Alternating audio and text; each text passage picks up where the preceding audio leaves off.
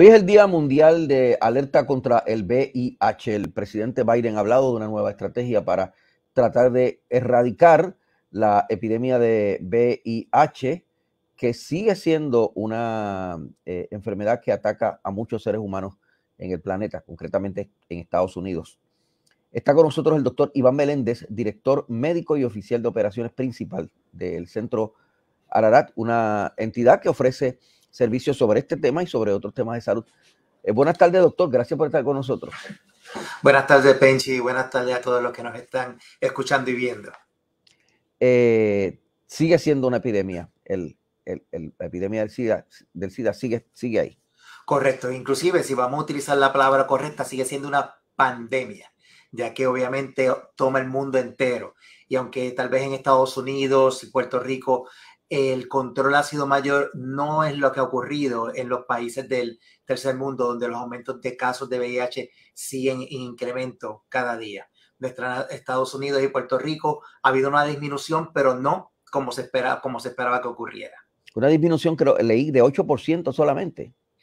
Cuando hablamos de Estados Unidos de un 8%, en Puerto Rico la disminución ha sido mayor y lo que pasa es que estos son juegos de números estadísticos, ¿verdad? En la forma de cómo, cómo lo mides y contra qué lo comparas. Tal vez si vemos las nuevas infecciones que tenemos en Puerto Rico y lo comparamos con las infecciones que hubo para el 93 o 94, que tal vez fueron los años que más se registraron o sea, los números más altos, pues ahí sí diríamos, pues mira, ha habido una disminución de más de un 70% pero cuando comparamos entre un año y otro, no ha habido tal vez la disminución que se quería. En Estados Unidos, y es la meta que trabaja también Puerto Rico, ya que en específicamente San Juan fue quien eh, tuvo el 50% de las nuevas infecciones de VIH para el 2016 y entra dentro de lo que se llama la el end of HIV epidemic o el terminal de epidemia del VIH, que esto lo que quiere decir es reducir a un 75% las nuevas infecciones para el 2025 y para el 2030 reducir a un 90% las nuevas infecciones. En Estados Unidos ahora mismo anualmente hay 32 mil nuevas infecciones. Antes era 42 mil. Por eso es que vemos, obviamente, vemos la reducción con las diferentes estrategias que se han utilizado. ¿Y en Puerto Rico tenemos algún número que nos diga cuántas infecciones anuales hay aquí?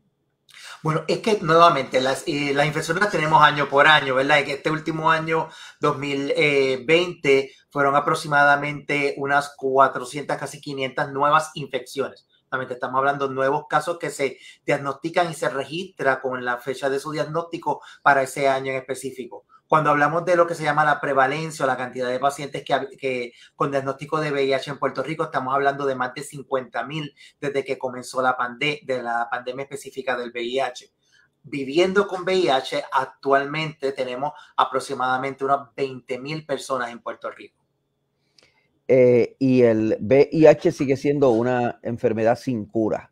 Aunque que hay, que hay dos casos eh, excepcionales, ¿verdad? De gente que se ha curado. Sí, hay, hay, dos casos y te digo, para que sepas, esto es algo que se ha estudiado, se ha trabajado y estos dos casos en específico fue haciendo, a, haciendo un tipo de transfusión, vamos a poner de esta forma, un trasplante hacia una, cosa, hacia una parte específica genética que se ha visto que esta parte genética hace que el virus de VIH no se pueda replicar, no puede entrar en un sitio que necesita para replicar y por eso como el largo de vida son más que 72 horas, el virus pues termina, se fallece y no se queda en el cuerpo. Tal vez pensaríamos, pues esto es algo que podemos hacer en, en mucha gente, pero no es así, es algo que es bien complicado. Tal vez yo expresarlo ahora mismo se oye sencillo, pero no, es algo bien complicado. Pero sí, VIH no es una, sentencia de muerte, como se hablaba hace muchos años atrás. El VIH es un diagnóstico que es una condición crónica. Crónica quiere decir que es una condición que no tiene cura, pero si uno se cuida, se toma sus medicamentos, se mantiene no detectable, es una condición que te va a permitir un largo de vida enorme y mantener una vida saludable y productiva. No hay vacuna tampoco contra el VIH. A pesar de que, ahora no. A pesar de que, está COVID, que, que, que, que, fue un tema de conversación y un tema de gente. Hay, hay razones por. Hay gente que no le cree, no cree que la vacuna del COVID sea efectiva y que no cree que existe tal vacuna, porque dice, pero si no lograron la vacuna contra el VIH, porque tienen 30 años hace, porque no han logrado la vacuna contra el COVID. Mira, Penchi, yo te puedo explicar eso tal vez en dos minutos de la forma más sencilla que todo el mundo lo puede entender. pero obviamente aquellos científicos que me van a escuchar saben que lo que estoy diciendo es una explicación bien básica. Primero, hay gente que, como tú mencionaste, le tiene, no le crea la vacuna contra el COVID, simple y sencillamente porque utiliza un mecanismo este, genético, lo que se llama el messenger RNA.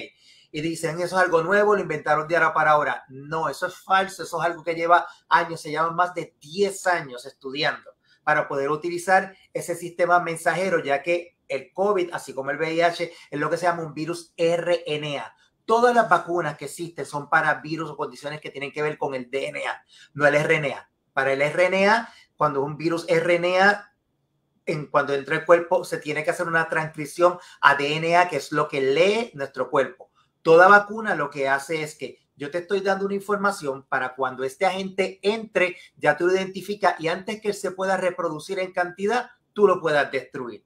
¿Qué pasa? Al tener este mecanismo de poder cómo hacer llegar un RNA, que es este messenger RNA, que es la forma de la, de la vacuna, fue como se logró trabajar para entonces insertar algo que se preparó obviamente de la misma forma genéticamente de cómo sería el virus del COVID, para entrarlo al cuerpo, que el cuerpo lo identifique, cree las defensas y así cuando a uno si llega en contacto con el virus, el, el virus en este caso del COVID, trabaja bien rápido, las defensas se activan porque ya tenemos esa memoria, empezamos a batallar y ¡pum! Podemos destruir ese virus del COVID. ¿Qué pasa con el virus de VIH?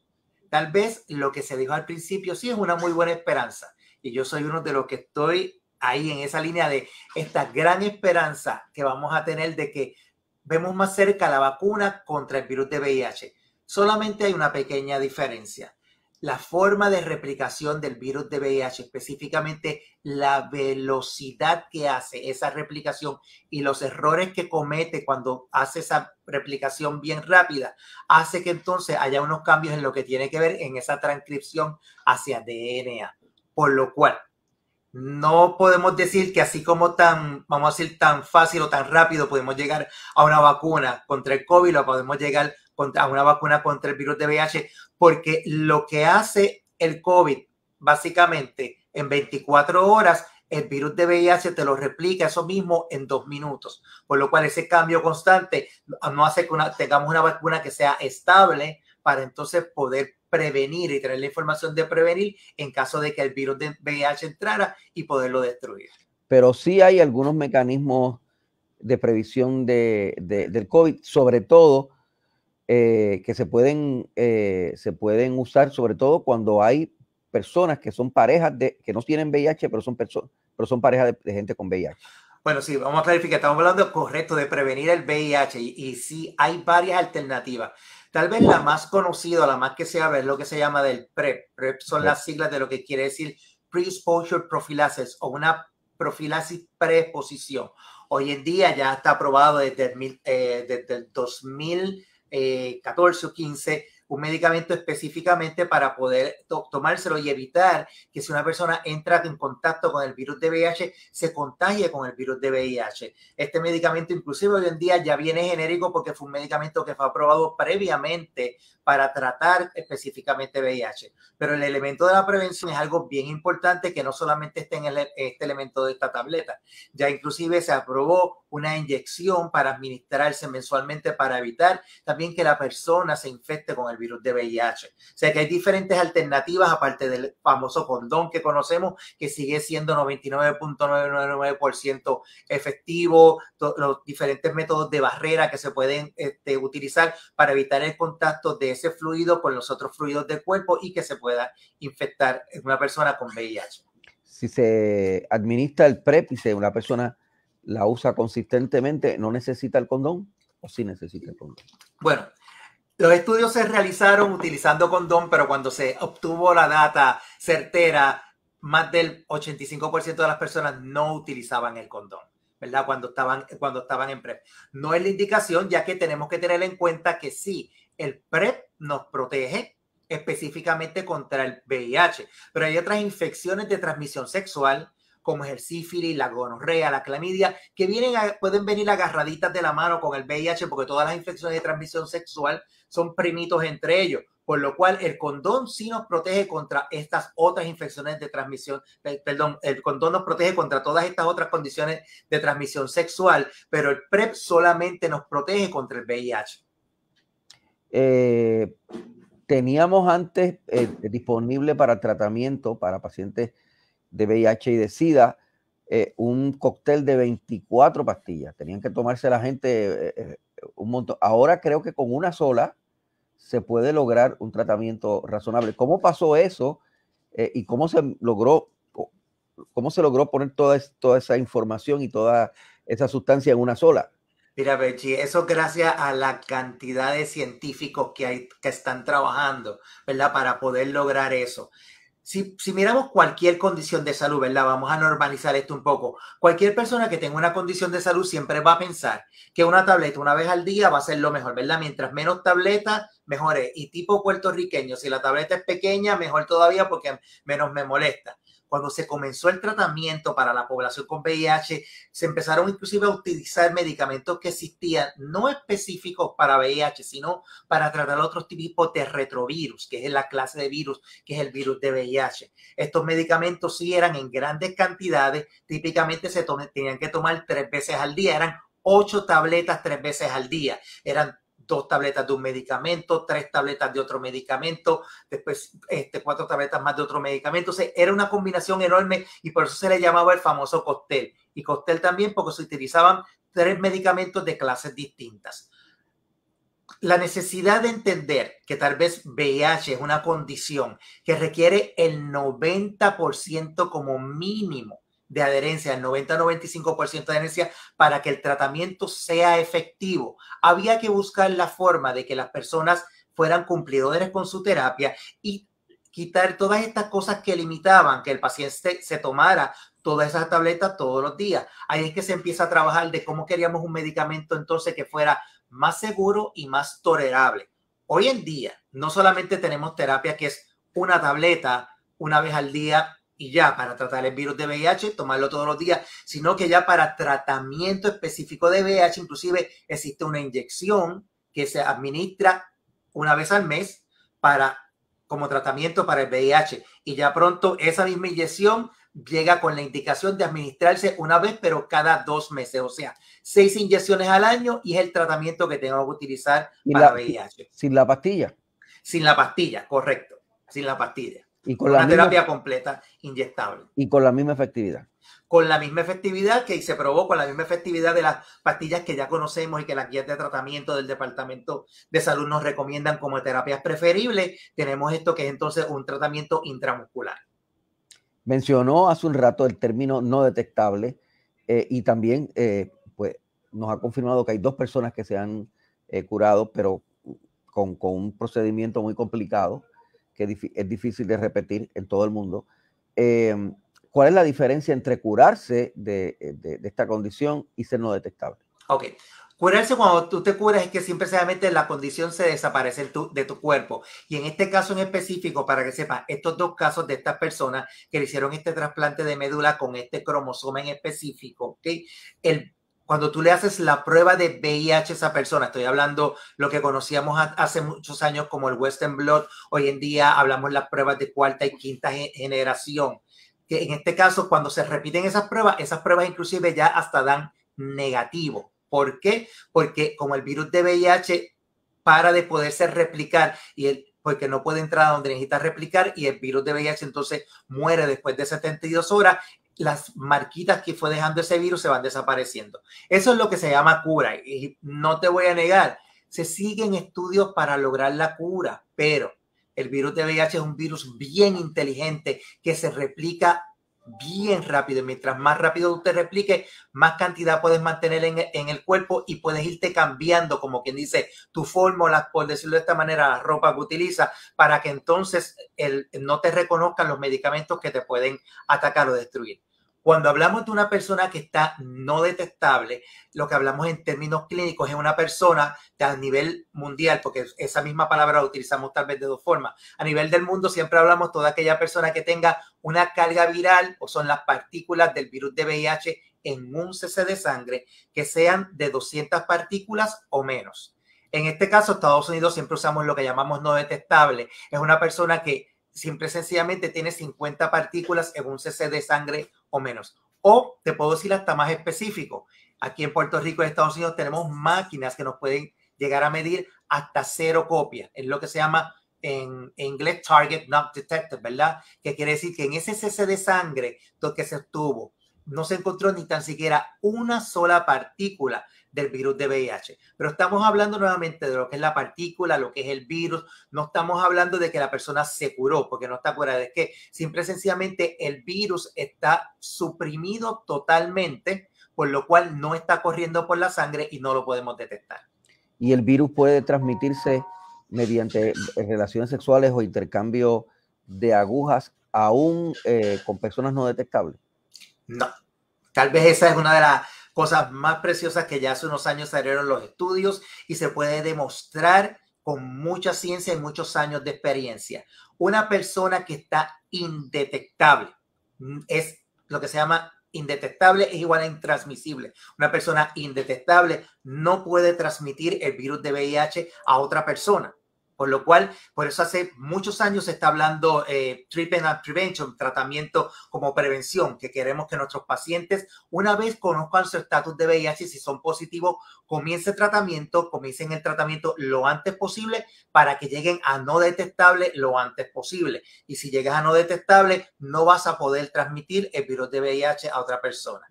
Y tal vez me voy a ir una pregunta que tienes que tener en la mente. Y entonces, si indetectable es igual a intransmisible, ¿Cómo es posible que tengamos nuevas infecciones de VIH?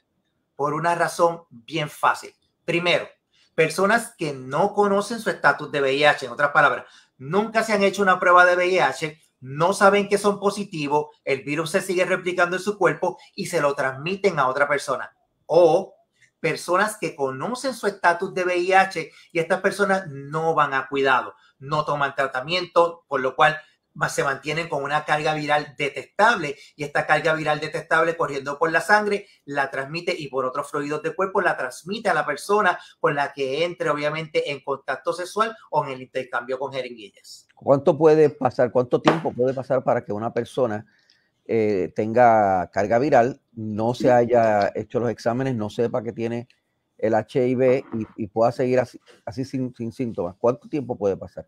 Bueno, Pensi, esa pregunta es de los 64 mil chavitos, como dirían en un programa de hace muchos años atrás.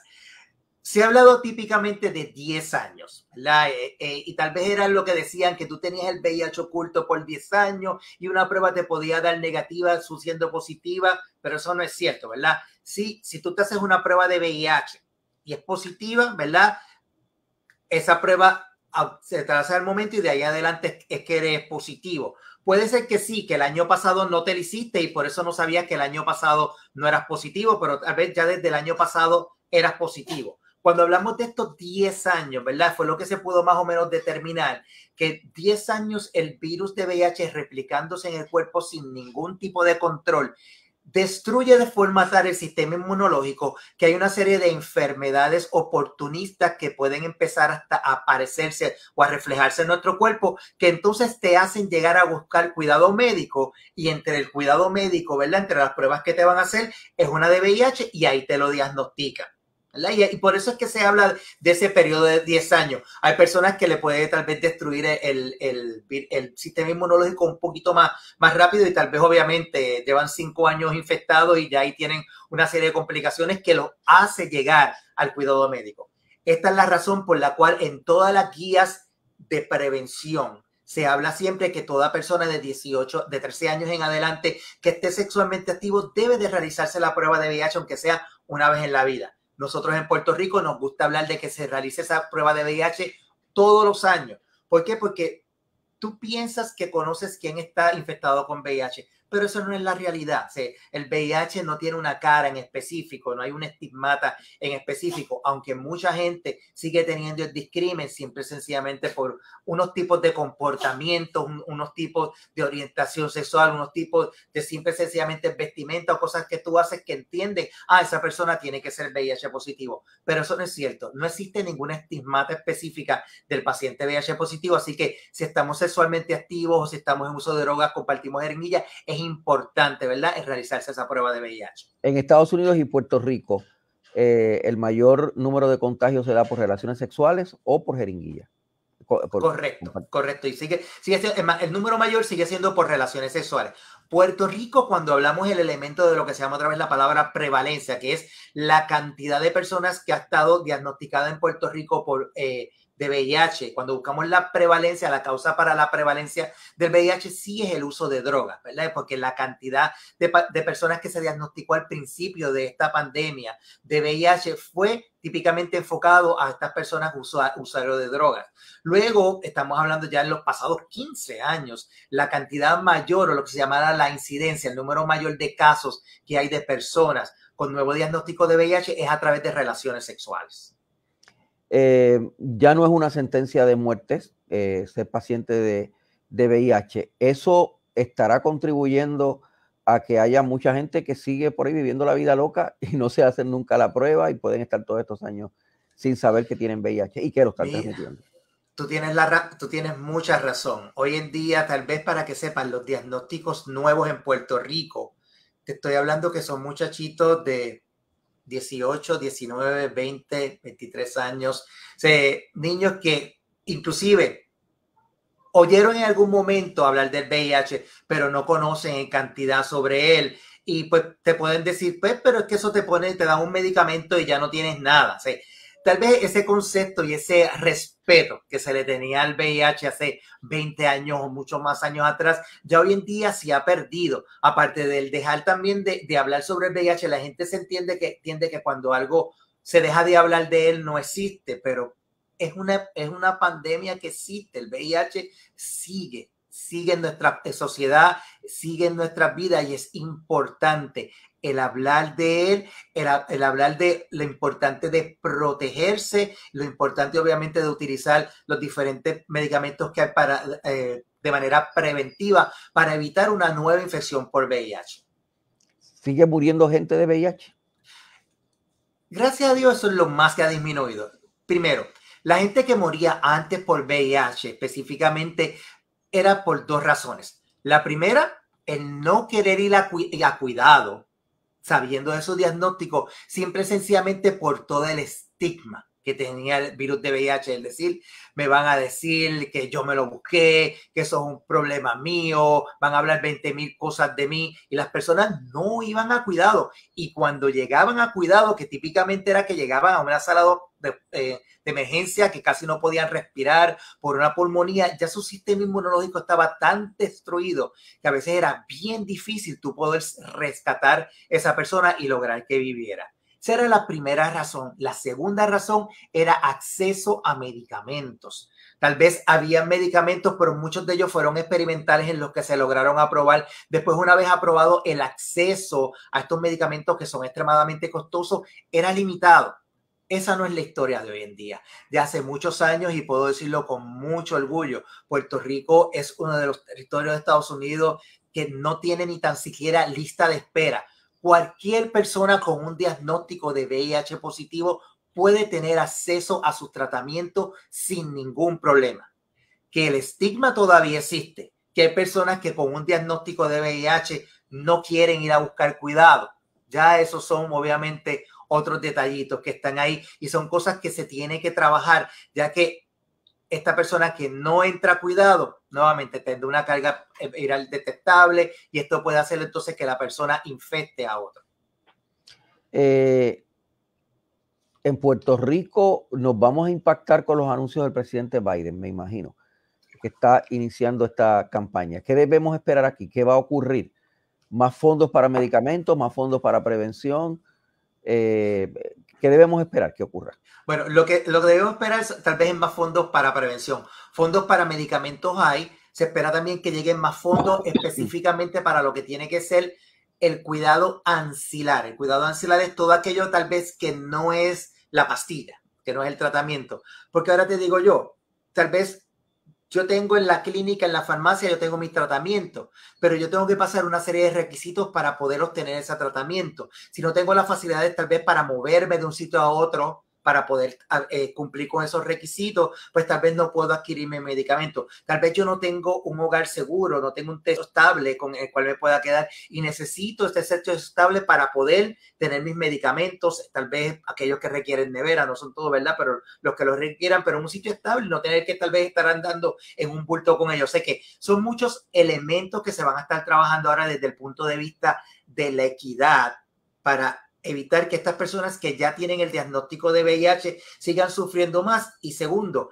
para prevenir estas nuevas infecciones en estas personas que tal vez por el problema de equidad que está existiendo en todo el mundo no puedan simple sencillamente obtener las medidas para prevenir ese VIH. Y el tercer punto que también va a ser un auge bien grande ahora con estos nuevos cambios que tiene y eh, realmente verán en nuevas propuestas relacionadas en fondos relacionados al cuidado de la persona que ya está envejeciendo con VIH. ¿Te imaginas todas estas personas ya que han envejecido, que hoy en día, y no estoy hablando de VIH, sino en general, que tal vez los ingresos que reciben de Seguro Social no le dan para vivir, que tienen que ir a asistir a diferentes médicos porque tienen diferentes comorbilidades. Añade de esto a una persona que tenga un diagnóstico de VIH positivo, que sea lo que llamamos nosotros un sobreviviente, una persona que lleva más de 20 años con el diagnóstico de VIH, que tal vez todos sus todos sus amigos ya han muerto, porque empezaron con la, con la epidemia del VIH, no recibieron tratamiento por la razón que fuera y tienen este concepto de soledad, este concepto obviamente de falta de apoyo, este concepto de que lo que tengo para vivir no me da y tengo una condición que es crónica, que está ahí conmigo y que me va a seguir, obviamente, añadiendo otra serie de comorbilidades.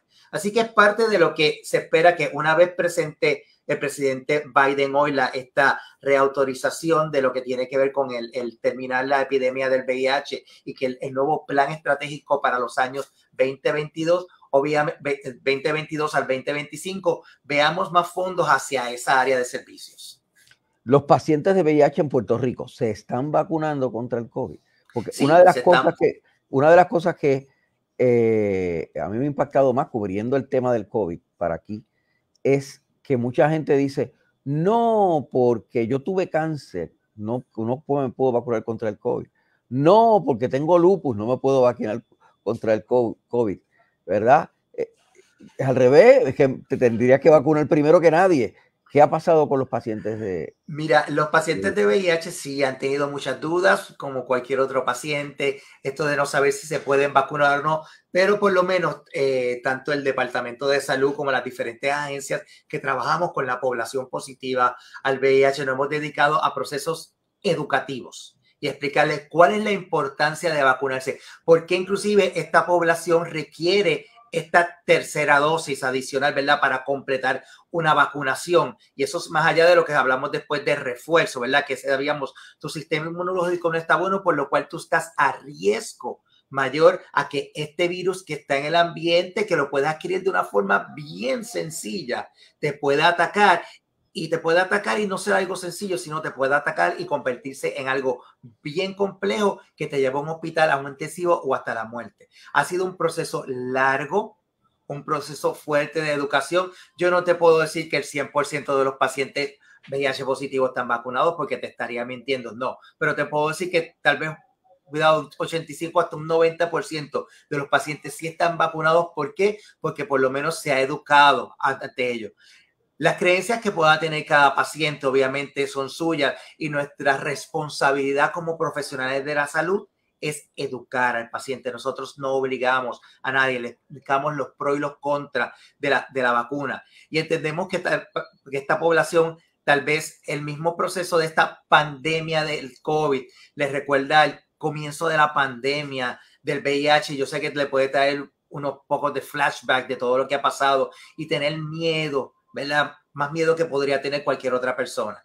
Pero se ha educado, se ha orientado sobre ello y es beneficioso, ¿verdad? Si alguien nos está escuchando, no se ha vacunado, vacúnese, ¿verdad? Es extremadamente importante. La vacunación es uno de los elementos más importantes para poder prevenir el contagio con el COVID. Y si alguien está accesando a esta información y ya es tiempo de, la tercera dosis y no se lo ha suministrado, lo debe hacer. Un paciente Correcto. de VIH ¿Tenemos eh, información de, algún muerto, eh, de algún paciente de, VIH que, haya muerto de COVID? ¿O no lo sabes? Sí, sí hay. No, no han sido tantos, fíjate, por lo menos de la información te lo puedo decir de esta forma que, que, pueda haber llegado a, a, a, mí o a mi, a mi núcleo de instituciones, ¿verdad? Que tal vez nos mantenemos un poco en contacto sobre nuestros pacientes y, y qué ha pasado. Tal vez nuestra población VIH positivo, este, como está más alerta de los diferentes cambios y cosas que ocurren y tú tienes este equipo de salud trabajando junto con este paciente, pues tuvo este acceso a la vacuna eh, lo antes posible y tal vez se pudo prevenir. Pero el tener acceso no quiere decir que la persona accediera a la vacuna. Son dos cosas totalmente distintas, ¿verdad? Y muchos de ellos sí se retrasó un poquito. Sí te puedo contar de varios casos que le dio COVID, COVID, este, hasta llegar a COVID severo, pero no llegar a muerte. Yo por lo menos de entre nuestras instituciones solamente me acuerdo una persona que, que llegó a fallecer. Así que nuevamente la vacunación ha sido lo que más ha ayudado en el elemento de prevención, aparte de lo que ha sido las medidas siempre de mantener eh, la protección con la cuestión de el, distanciamiento físico el uso y el uso de mascarilla. ¿Cómo interactúa el mensajero cuando se inyecta el mensajero de, del COVID-19 para atacar el COVID-19 con este sistema inmunológico especial que tienen los pacientes de VIH? Okay. Vamos a definir primero tal vez lo que es el sistema inmunológico especial para entonces entender un poquito más cómo es que trabaja el mensajero. La diferencia entre una persona que tiene el virus de VIH versus una persona que no lo tiene, es que el virus de VIH utiliza el sistema inmunitario, el sistema inmunológico del paciente para replicarse. Él entra en las células de CD4, que son células de defensas, y utiliza estas células de CD4 para replicarse. Una vez se replica en ellas, viene y las destruye. Y para dejarle saber, por una célula, por un virus de VIH que entra, pueden salir 10.000 partículas de VIH nuevas por cada célula que entra por lo cual el paciente con VIH que no está en tratamiento, típicamente el sistema inmunológico va a estar mucho más bajo y por lo cual al estar más bajo tiene mayor propensidad a cualquier infección que los venga a atacar. Un paciente con VIH que está en tratamiento, que está no detectable, obviamente su sistema inmunológico lo más probable ya se ha, restablecido a una normalidad de lo que puede llegar, por lo cual pueda tener un sistema que ha sido maltratado y al haber sido maltratado ese sistema inmunológico, tal vez no trabaja al 100% como el de una persona que no tiene VIH. Pero en, el funcionamiento que está teniendo este sistema inmunológico va a ser suficiente junto con la ayuda de la vacuna para que trabaje.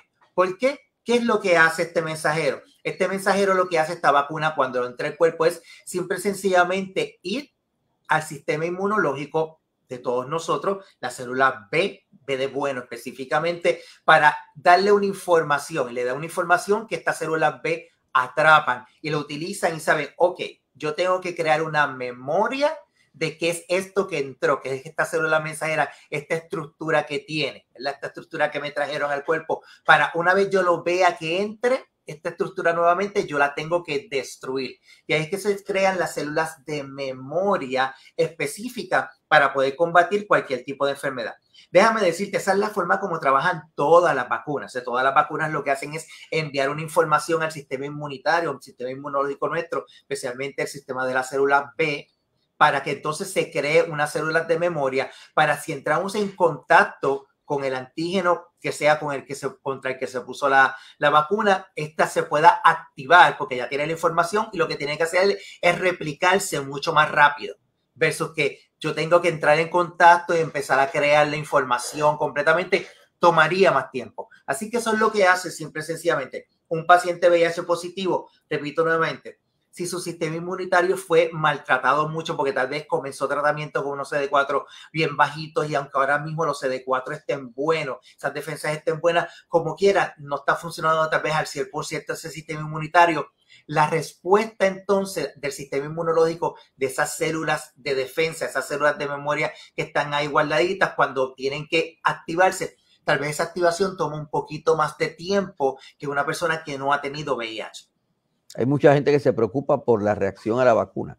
Dicho sea de paso, hay gente por ahí asustada que no se quiere poner la tercera dosis porque las anécdotas son de que la mayoría de la gente que se ha colocado la tercera dosis pues ha tenido una reacción más fuerte que, las primeras dos dosis.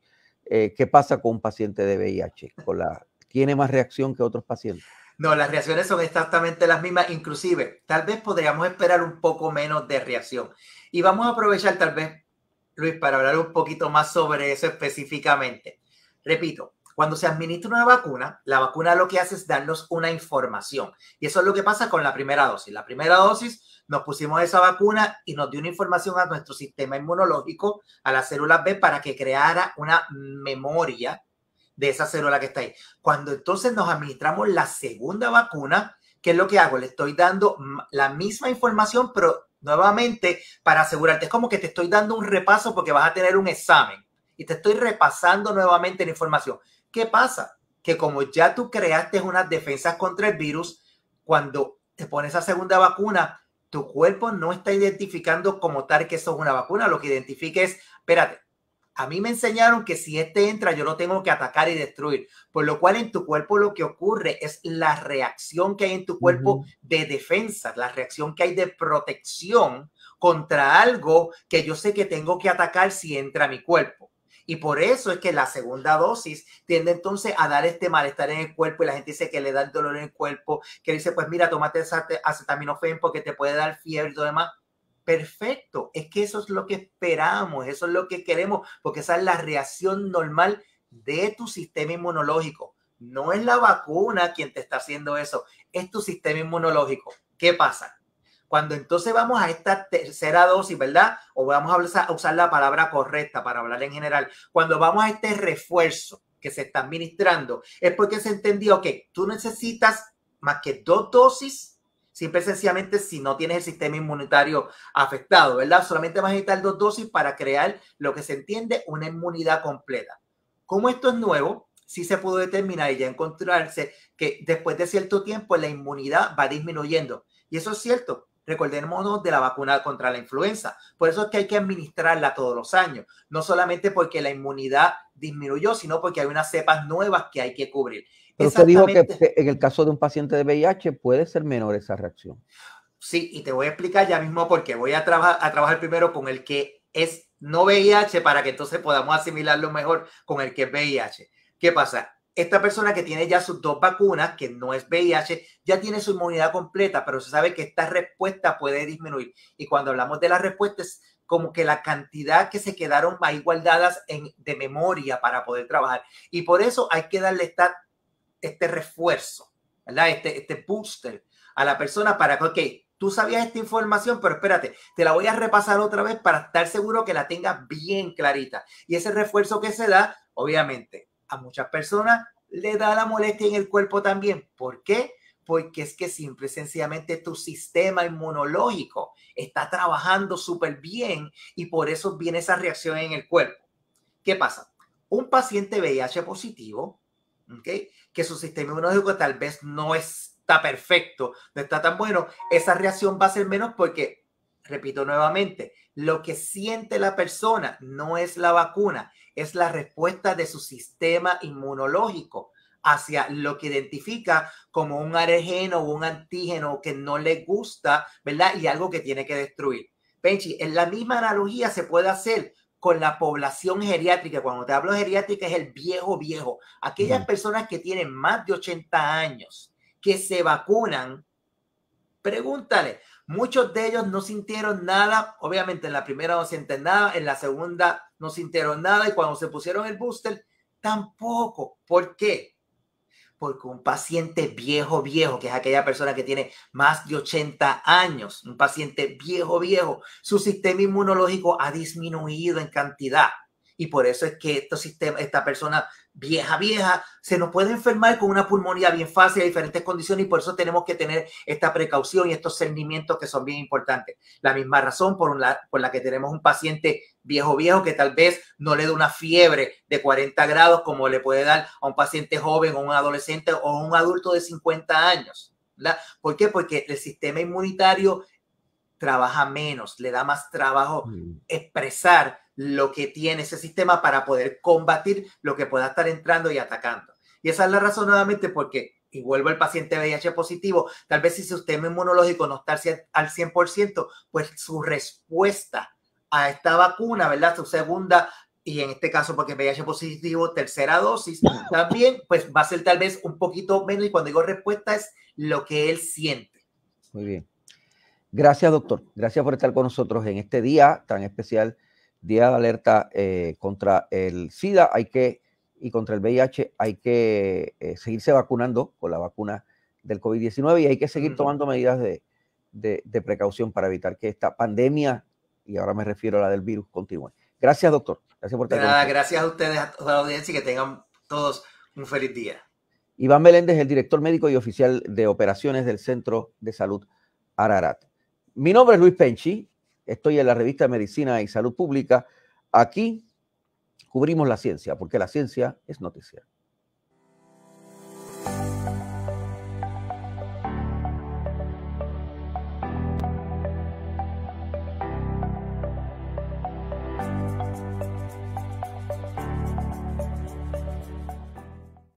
Todos los días, de lunes a viernes a las 2 de la tarde por Teleoro Canal 13, conéctate con Revista de Medicina y Salud Pública. Conectados con tu salud. El primer programa de la televisión puertorriqueña dedicado completamente a noticias de ciencia, medicina y salud pública. Médicos infectados por COVID-19, algunos vacunados, otros no. Eh, un enfermero muy aguda como un proceso en el cual video reportajes, microdocumentales, entrevistas y análisis del amplio mundo de la ciencia y la salud aquí en Teleoro Canal 13.